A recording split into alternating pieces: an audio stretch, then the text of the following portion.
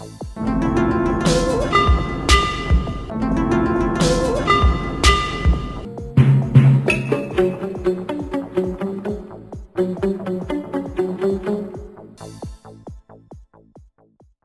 is Jason DeBoard from the Original Prop blog. Today we're going to do a quick preview for the upcoming Ewbank's auction on November 15th for the Propmasters 30th anniversary auction. So I'm friends with David Oliver from Propmasters. I've known him for many years. He was nice enough to send me a hard copy version of the auction catalogs. I thought we'd take a quick look at it. I haven't opened it yet. This is going to be my own first look. It looks a little bit um, beat up, to be honest with you. That's courtesy of the post office. Um, but it did make it here. So it's got Darth Vader's helmet on the cover. I'm not exactly sure what that's about just because I haven't had time to look into this auction specifically yet. So that's what we're going to do today. Um, so let's let's crack this open and take a look here. So um, we've got some information here. It looks like there's a viewing opportunity if you're in the UK, you're close to the auction house. You can go check out the items before you bid on them, which is something I always recommend to people if they do ha happen to have that opportunity. Um, it talks here about the buyer's premium and VAT, which is something that's charged um, basically in the UK. Sometimes when you're a buyer outside of the UK, you can get that refunded. So I would inquire with the auction house exactly how this um, fits your personal situation where you're going to be bidding from, where you reside, if it's applicable, if there's ways to legitimately get around this, how do you do that? Um, but it looks like maybe the buyer's premium is 20% and then buyer's premium with VAT is 27%. But I'm looking at this for the first time. So definitely check that out. Look, look at that in some more detail. So it looks like we've got a letter here from David Oliver. You know, he's been involved in this field for a very long time. You know, um, I haven't read this yet, but he's talking about his childhood. And, um, you know, it says here all lots come with the prop master certificate of authenticity. And as readers, longtime readers of the original prop blog know, um, there's a lot of problems with COAs that are not worth anything and, and are misleading and are just not good. But this is one circumstance where it's actually a good thing. Um, David is a collector himself. I know he takes great pride in authenticating his material and, and researching and make sure making sure things are, are legitimate and, and are what they are purported to be. So that's a good thing. I would also um, highlight that if there's a lot you're interested in, I believe David would probably be happy to um, have a dialogue with you about it, email exchange, whatever. If you have more questions about something you're interested in, he's very nice, very approachable, very professional. So I would um, take that opportunity if, if you're planning to participate in this auction. So then we just get into the catalog here. It looks really nice. It's got big, um, big photo, big photos, nice clean layout, black background, white background.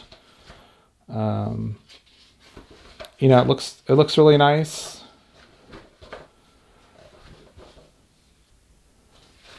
The descriptions aren't super long,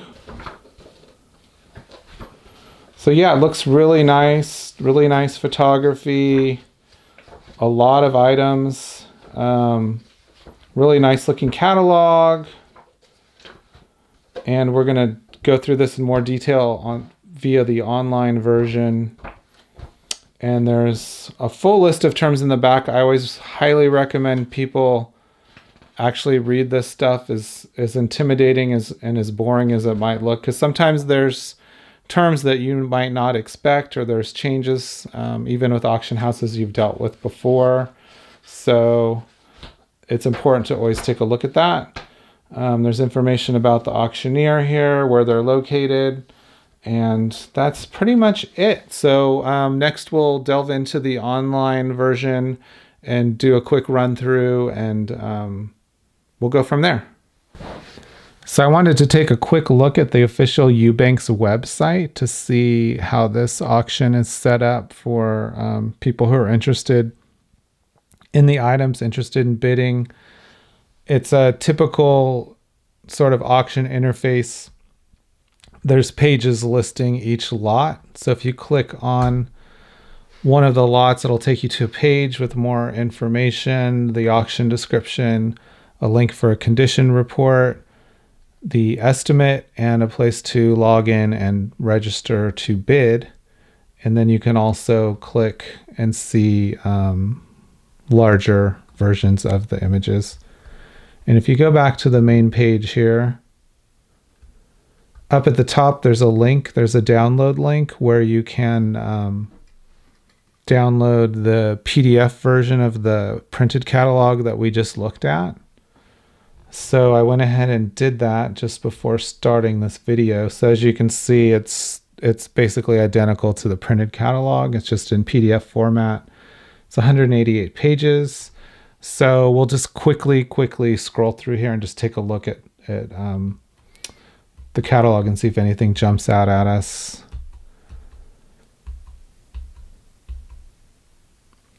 So that's pretty cool. There's stuff from the 60s here, like this. Um, I don't know what this is. It looks sort of retro futuristic. It's from Our Man Flint from 1966.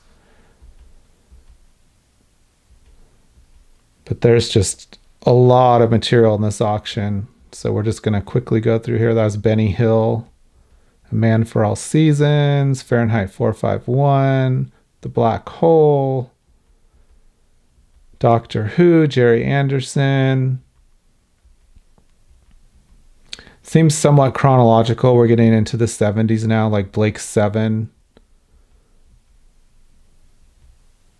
Definitely stuff for every budget. And there's interestingly, there's there's obscure things from properties I've never heard of, but I know in my own taste, there's things I like from my childhood, and I mention to people and they have no idea what I'm talking about. So it's cool that people like David Oliver were out there saving this stuff because if people like him weren't out there, that it wouldn't exist anymore. It would have just been thrown out. So um, this is interesting. It's a it's an imperial cloak from Star Wars. Um, from the costumer, and the estimate's only 800 to 1200 pounds. So you know the fact that you can potentially get something from the very first Star Wars film in 1977 for under $2,000 potentially is pretty awesome. The Muppet Show. That's I still have nightmares from that from when I was a kid. but there's some blueprints there which is pretty cool. So this is the cover piece. It's a Darth Vader helmet and I didn't really know anything about this coming into this, so I'm interested to read the description. So it says um, Star Wars The Empire Strikes Back a production made Darth Vader helmet constructed constructed within the production interim of Star Wars A New Hope and The Empire Strikes Back. The helmet is believed to be a transitional test production piece with production tells of both the A New Hope and Empire screen used helmets, not intended for screen use but departmental reference. Constructed of fiberglass, the chin on the faceplate still features the small triangular cutout unique to the A New Hope style helmet. Yet the dome to the faceplate male slash female attachment ring is of Empire in styling. The interior is unfinished with no padding. The inner cross grills and eye lenses are correct to the final screen use version, although the outer dome's edge is thinner in width. There is no VAT on the hammer price on this lot. 15,000 to 20,000 pounds. So that's pretty awesome because it's basically been identified as an original production piece that was not um, used in filming. So it's it's not exact to the finished pieces. It was not filmed, but it was used during the production. So it's it's it sounds like a pretty interesting piece. And, you know, if you're a big Star Wars collector and you have no hope of ever owning a screen used Darth Vader helmet, this might be something that would interest you because it's in appearance, you know, to the average person, even I wouldn't know looking at it those those differences that I just read about. And I've read a lot about Star Wars. So I mean it's it's pretty cool that it's a production piece and it's not um, set with an astronomical estimate. So um, definitely a cover worthy piece. Hellraiser, From Dusk Till Dawn. Now we're getting into the 80s Cocoon, Indiana Jones and the Temple of Doom. Actually, I think I recognize these two Thuggee gowns. Um, Cocoon, Aliens. So there's obviously just a ton of material in this lot at a lot of different price points. So it's worth checking this catalog out because there could be some items from some obscure television show or film that you're into, and it could be in this auction. So I would definitely take a close look at the um, the full catalog. It's pretty interesting. Blade Runner,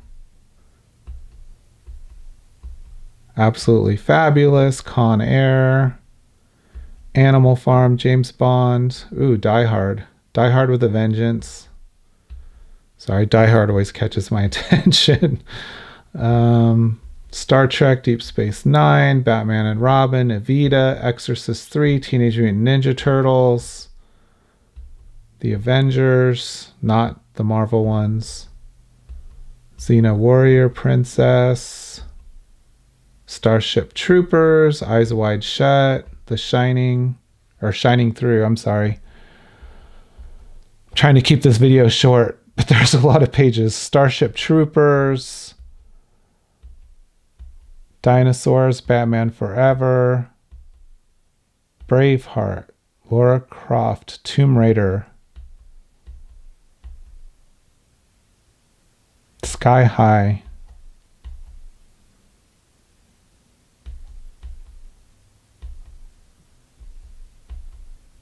Unbreakable.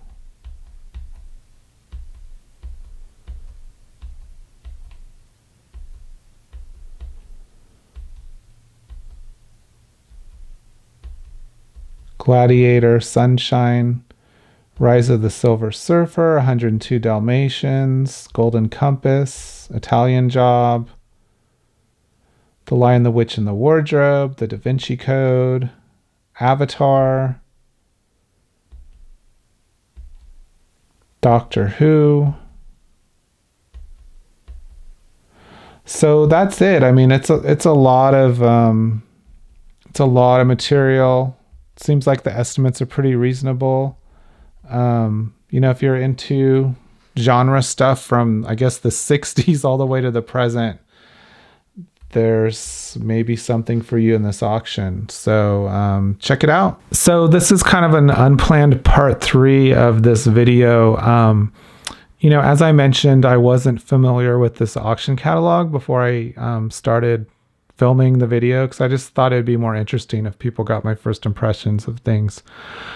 So, having said that, when I read the Darth Vader catalog description for the helmet that's featured on the cover, I still had some questions. You know, kind of the most obvious one is well, where did it come from? How did David get it? What's the background? Um, how do we know it's authentic apart from the unique kind of physical traits that are described in the catalog description? So, after I filmed that, I reached out to David Oliver directly. Um, I explained to him what I'm doing with these videos at this point as I'm filming this, no one even knows that I'm planning a YouTube um, channel. So I was kind of explaining to him, you know, that's what I'm doing, and I'm um, taking kind of a different approach to it. And I have these questions about this Darth Vader helmet. And so he explained some more about the background of the piece. And then I said, you know, would you mind summarizing that in an email that I can then share? With people as part of the video preview that I've put together. And he said, no problem. And that's what this email is. It's direct from David Oliver from Propmasters. And I'm going to read it here. And um, there's some information that is included here that's in the, ca- the catalog description, which we already read. But then it kind of fills in with some additional information, which I think would be helpful to people. So, Um, I'm going to start reading. I'm going to probably stop and pause and share some thoughts as I go along. So I'm using this pointer so you know what I'm reading. So it says the Darth Vader helmet has a New Hope style front mask tails with an Empire Strikes Back style dome helmet fixing. It's the only known such example. And this is me interjecting. I haven't heard of an example like this, but it makes sense in the context of production that, you know, they were trying different things and, and this could be, you know, production kind of um, test. So back to reading. It says the dome helmet often suffered movement on A New Hope as it was mainly fixed by large Velcro pads from forehead to dome now I'm interjecting again. So I I believe I remember seeing um, an example of original authentic screen used Darth Vader helmet from A New Hope, and you know if if this is the face mask and this is the dome, where they overlap, there I believe was some Velcro padding here, so that was not a very sophisticated way, you know, to hold the pieces in place. But um, I didn't I haven't looked at pictures to to reaffirm this, but that's kind of what I remember um, from a past example of looking at, um, I think, some official Star Wars book that maybe showed pictures or maybe something on the RPF or something, but that sounds really familiar to me. So now I'm going to go back to reading. So it says production resolved this by creating male to female integral attachment ring system from Empire onwards. So this also sounds familiar, and I believe I've seen um, an original helmet example. So if this is the face plate, there's like a ring, not not to scale, obviously on top. And then if this is the helmet part that goes over it, there's another ring interior. And so the two rings kind of fit into place. So that sounds really familiar. So I'm reading again. This helmet is transitional between the two. It was not screen used. So now I'm interjecting again. So that makes sense. It's kind of um, this helmet sort of bridges that um, those different styles, I guess you could say. But he wanted to emphasize that it's not screen used, it wasn't filmed, it wasn't worn on set. Um, it's a production piece that was not part of what we see on screen during either of the movies. So he wanted to make that really clear. I'm going back to reading now. It says differences being that the dome thickness is thinner, paint finish discrepancies, and no evidence of interior padding. And I'm interjecting now. Um, the padding would obviously indicate that it was um, intended to be worn because that would protect the actor's face. And he's saying this has no interior padding, so it's never um, contemplated that someone would wear this. Back to reading. It says, um, I acquired the helmet in the early to mid 1990s and it's been in my private collection ever since. It came from a family whose youngest son had been gifted it from a relative who worked on Star Wars at Elstree Studios. He had since grown up and was raising money for university, hence selling it.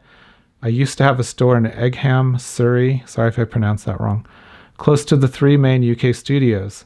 And in response to wanted local advertising, the family walked in one day with a large carrier bag. So basically David's saying he used to have a store near the studios where all these movies were made, um, and he used to put um, ads in local papers, for, you know, looking for movie props, costumes, things like that. Because he was in such close proximity to the studios, people would respond to those ads and and sell him things. So that's how it came into his possession in the early to mid 90s. So hopefully this um, is helpful to people. I just wanted to get a little bit more information to share and kind of memorialize before it goes under the hammer. And, um, you know, if people have additional questions, they can always reach out to David Oliver, just as I did. Um, he's super nice. He's always willing to um, engage in discussions about questions like these. And, you know, as I mentioned, this um, whole YouTube channel thing is new. So I'm kind of, um, developing it as I go along. So this wasn't intended to be a three part video, but this is, um, it won't be unusual because basically I'm to try to always take a first look as the video. So you're to get my first impressions. And, you know, with all these auctions, there's always things that jump out with questions and concerns and that require more information. And then, um, I'll always try to do that as time allows, and I'll either add it to the video before it goes live, or I'll publish subsequent follow up videos with more information, more questions, etc. So that's um, that's basically it. Thanks for um, checking out this video. If you stuck through to the end, wow, thanks. Um, that's it. Thank you.